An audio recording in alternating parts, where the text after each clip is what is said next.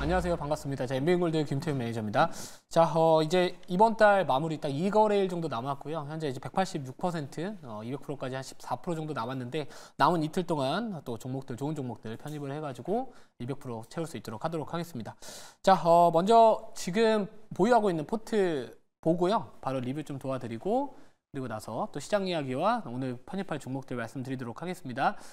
자, 뭐 이제 HD현대 중공업이나 어, HD현대 미포 같은 경우에는 제가 이제 HD 현대자 들어가는 조선주 싸그리 그냥 다 사셔도 됩니다. 이런 식으로 좀 말씀을 드렸었는데 자, 오늘 이제 일부 조선주들은 전반적으로 워낙 최근에 강했기 때문에 쉬어가고는 있지만 뭐 제가 봤을 때 아직까지 오늘 한 2% 정도의 뭐 3% 정도의 조정 가지고서 이거를 지금 뭐 이 추세 자체가 꺾였다 이렇게 판단하기는 어려울 것 같고요. 전반적으로 어제 증시 자체가 워낙 또 강했던 부분들 또 그거에 대한 소화도 필요하는 오늘 하루라고 보고 있고 또 조선주가 이틀 전이었나요? 이게 워낙 강하게 또 올라갔었기 때문에 뭐 이 정도의 조정은 충분히 나올 수 있다. 근데 이제 아쉬웠던 거는 이제 HD 현대 미포가 오늘 11만 8천 몇백 원까지 갔었어요. 12만 원이 이제 2차 목표가였는데 이거 되면은 그래도 한 200% 정도 채웠을 것 같은데 뭐 아쉽지만 우선은 추세 자체는 여전히 저는 조선주들은 유지는 하고 있다 이렇게 보고 있고요.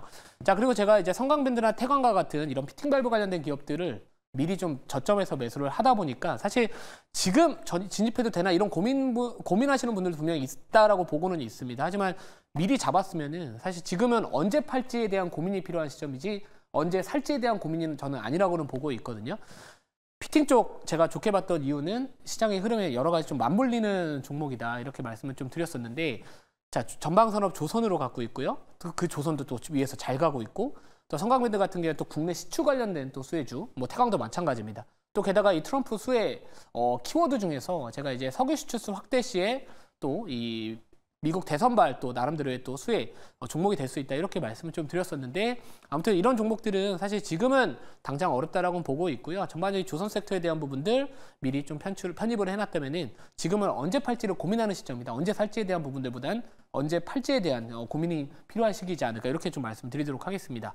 자 그러면 제가 이제 어제 같은 경우는 셀트리온 제약을 편입을 했거든요. 이제 사실 이제 셀트리온의 흐름을 좀 보면서 이제 셀트리온 제약도 이제 박스를 좀 돌파하지 않을까라는 관점에서 편입을 했었는데 자 오늘 이제 제약바이오 섹터는 저는 이제 8월달을 준비하자 이렇게 보고 있습니다. 뭐 최근에 제가 뭐 셀트리온 같은 경우에 지난주 금요일에 딱 한 종목 집어서 말씀드렸던 게 셀트리온이었고요. 그리고 그러고 나서 지금 5% 이상 어제 또 급등이 나오기도 했었고 또 알테오젠 같은 경우에서도 이제 같이 또 말씀을 좀 드렸었는데 알테오젠 오늘 장중에 약간 변동성이 컸었습니다. 근데 그 안을 들여다 보면은 어떤 특정 물질에 대한 계약 해지, 이 사노장이었나요?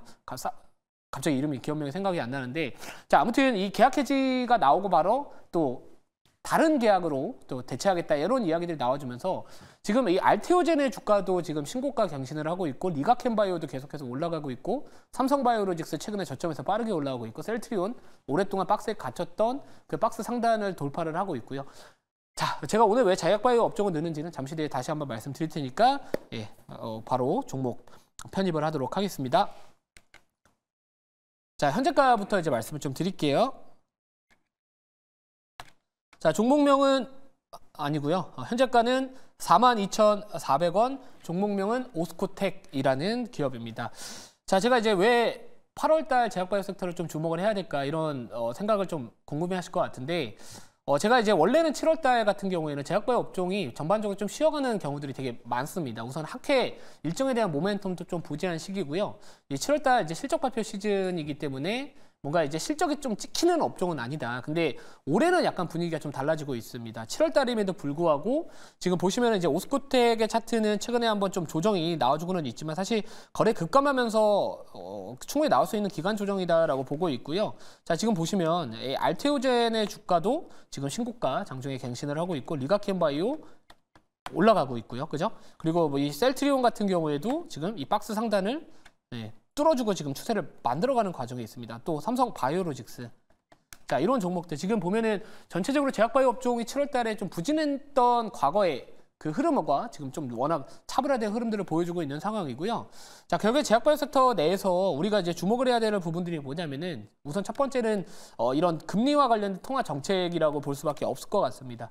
뭐 제약바이오 내에서도 개별 모멘텀 이슈도 있겠지만 이 제약바이오 섹터 내에서 제일 중요한 건 저는 금리 추이라고 보고 있는 상황이고 어, 이 오스코텍 같은 경우에는 워낙 이제 뭐 유한양행하고 어, 뭐 오스코텍 뭐 다음 달 이제 8월 달에 레이저티닙과 이제 아미반타맙 관련된 이 병용요법에 대한 FDA 승인 여부가 발표가 될 예정이 있기 때문에 우선은 또 금리 인하에 대한 기대감까지도 지금 같이 올라오는 시기라서 뭔가 좀 모멘텀 플레이하기 좋다. 그리고 통화 정책에 대한 부분들도 지금 시장에서 제약바이오 섹터에 우호적이기 때문에 뭐 여러 가지 좀 맞물리는 이 제약바이오 섹터 한번 8월 달 좀 수익을 극대화하는 관점에서 좀 지켜봐야 되는 업종이지 않을까 이렇게 보고 있고요. 제가 이제 7월 달에 제가 모든 매매 내역 다 제 녹색 밴드 통해서 공유를 드리고 있습니다. 자, 7월 달 시장 상당히 힘들잖아요. 근데 지금 한 20개 종목 중에서 15개 정도는 목표가가 다 달성을 했고 물론 아쉽게 뭐 두 종목 정도로 손절이 좀 됐고 아직까지 매스크와 밑에 있는 종목들이 있지만 합산을 했었을 때 7월 달 충분히 업종 선택, 조선, 방산, 건설기계 그리고 가상화폐 관련된 종목들 이런 것들만 저가에서 사놓았으면은 7월 달 아무리 힘들었어도 수익 챙길 수 있는 시장이었다. 저는 이렇게 좀 말씀을 드리고 싶고요. 자, 그래서 지금 이제 오스코텍도 최근에 이제 거래가 좀 계속해서 급증을 하면서 기간 조정 나오고 거래 띄우고 기간 조정 나오고 지금 다시 또 거래가 저는 늘어날 시기라고 보고 있는 상황이고 아까 말씀드렸던 뭐 다음 달 레이저티닙과 아미반타맙 관련된 또 이슈에 따라서 또 추후에 어 이런 마일스톤 또 유입에 대한 이런 기대감 그러니까 실적에 대한 부분들까지도 같이 한번 기대해 볼 수 있지 않을까 이렇게 한번 접근해 볼 수 있을 것 같습니다. 자료 바로 보고요. 어, 추가적인 어, 설명 드리고 가격 전략 질문 받아보고 말씀드리도록 하겠습니다. 자, 결국에 첫 번째는 탑다운으로 내려와야 될 것 같고요. 어, 이제 FMC 웨이가 이제 현재 시각 이제 30일부터 31일까지 진행이 되는데 사실 이제 뭐 7월 달 뭐 금리 인하에 대해서 기대를 하는 사람은 저는 없다라고 보고 있습니다. 지금 시장에서 기대하는 부분들은 어, 혹시나 또 9월 달에 빅스텝 하는 거 아니냐라는 첫 번째 기대감. 그리고 두 번째 기대감 같은 경우에는 올해 9월 달뿐만 아니라 뭐 11월이나 12월에 추가적인 금리 인하를 하지 않을까에 대한 또 그 기대감. 이 블랙록 자산운용인가 블랙록에서는 올해 3회까지도 금리 인하 또 전망을 한다. 약간 이런 이슈가 오늘 장중에 또 나오기도 했었는데 자 이번에 이제 월스트리트저널에서는 연중 금리 인하 가시권 파월이 9월 신호 보낼 것이다. 이런 이야기들 나와주고 있습니다. 어차피 7월 달은 인하 안 하더라도 뭐 실망할 필요 전혀 없고요. 뭐 9월달 이날 가능성 지금 시장에서 거의 100% 가깝게 지금 보고 있는 상황에서 만약에 파우르장의 발언이 FOMC 회의에서 뭔가 그 추가적인 금리 인하에 대한 약간의 좀 가능성을 열어둘 수 있다라는 발언이 나왔을 때는 오히려 저는 시장은 다시 한번 제약바이오 또는 뭐 금리 인하와 관련된 수의 업종들 좀 유심히 좀 지켜봐야 되지 않을까 이렇게 좀 포인트를 잡아봤습니다. 워낙 이제 오스코텍이나 뭐 유한양행이나 이런 종목들 같은 경우에는 투자 포인트가 명확하거든요. 개별 이슈 같은 게 워낙 명확하기 때문에 다음 달 있을 그 FDA 승인 여부에 따라서 사실 좀 희비가 엇갈릴 수 있다. 그래서 제일 중요한 거는 이 손절가를 꼭 지켜주셔야 되는 종목이지 않을까. 왜냐하면 거기까지 내려왔다는 얘기는 그 FDA 승인과 관련해서 좀 기대치에 좀 뭔가 미치지 못하는 결과가 나올 가능성이 있기 때문에 뭐 지금 정도의 자리라면 우선은 깔아두고 이제 이슈 플레이를 좀 한번 해볼 시기가 되지 않았나 이렇게 말씀드리도록 하겠습니다. 자 질문 받아보고요. 추가적인 가격 전략 말씀드리도록 하겠습니다. 네. 자, 뭐 최근에 보면은 그 비만 치료제부터 시작해서 기술 이전, 어, 그리고 뭐 CMO, CDMO 관련주들도 어, 돌아가면서 어, 좀 많이 올라갔던 것 같습니다. 어, 지금 이제 그 시작, 어, 지금 바이오 쪽은 뭐 사실 그 트럼프나 아니면은 해리스 어, 부통령 관련해서 어, 특별히 그 영향을 많이 안 받는 것 같은데 어, 대, 어, 미국 대선 뭐 지금 그 후보들의 바이오 관련된 정책 어, 이런 쪽은 좀 리스, 그 리스크나 아니면 호재성 이슈가 좀 있는지 궁금합니다. 네, 어, 먼저 이제 뭐 해리스, 뭐 바이 아, 해리스하고 트럼프 뭐 관련해서 이제 최근에 좀 이슈가 됐던 거는 약가 인하와 관련된 이슈였거든요. 근데 이제 이 민주당 진영 같은 경우에는 약간 약가 인하를 약간 기업들한테 좀 요구를 하고 있는 상황이라면 트럼프 진영에서는 뭔가 전반적으로 약간 경쟁을 통해서 좋은 어, 약품을 좀 저렴하게 경쟁을 통해서 좀 제공을 하겠다. 그러니까 어떻게 보면 약가 인하에 대한 부분들을 유도하겠다라는 부분들이지만 결국에 그것 때문에 이제 우리나라 이 바이오시밀러 관련된 기업들 뭐 예를 들어 셀트리온이나 아니면 삼성바이오로직스 같은 그런 기업들이 저는 주목을 받고 있다라고 보고 있거든요. 그래서 지금 상황에서 약 약가인화와 관련된 부분들이 오히려 국내 바이오 기업들한테 좀 악재보다는 오히려 저는 어, 그래도 긍정적인 부분들이 조금 더 있다라고 보고 있고요.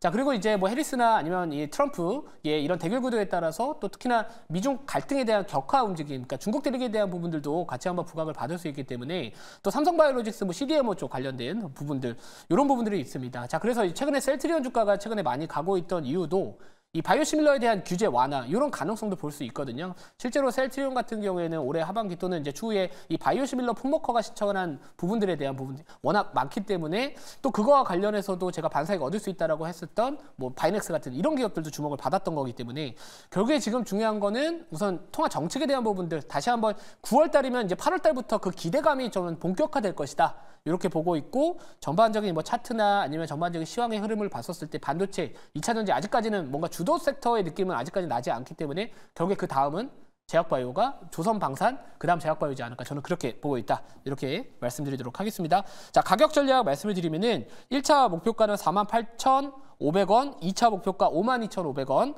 손절가는 36,000원 말씀드리고요. 자, 오늘 장 끝나고 4시 20분에 공개 방송 진행을 합니다. 제가 지난주에 셀트리온 말씀을 드렸었는데 정말로 그 이후에 급등이 나왔고요. 자, 이제부터는 8월달 제약바이오 섹터 내에서 좋은 기업들 미리 선점해야 될 시기가 되지 않았나 이렇게 말씀드리고 오늘 4시 20분에 관련된 전략들 다 공유 드릴 테니까 많은 참여 부탁드리도록 하겠습니다.